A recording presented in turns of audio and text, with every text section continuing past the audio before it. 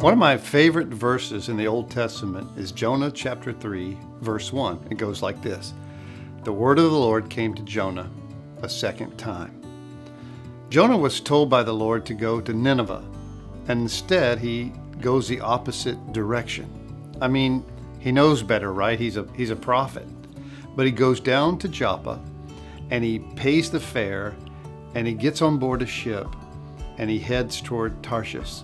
Down to Joppa, then down to the bottom of the ship, then eventually down to the bottom of the ocean and the bottom of the belly of a fish.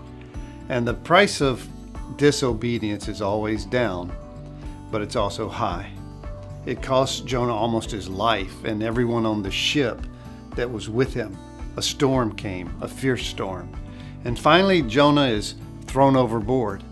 And in the belly of a fish, in darkness and isolation, he cries out to the Lord. And the Lord hears his voice, and the word of the Lord comes to Jonah a second time. And I'm so grateful that it does. My heart is certainly to be obedient and to be faithful, but I'm certainly glad that the word of the Lord comes a second time, sometimes a third or a fourth time, because God is gracious, He's kind. I mean, disobedience impacts everybody like it did Jonah on the ship. Everyone was in the storm. But God's word comes to us again and again because He's merciful and He's kind.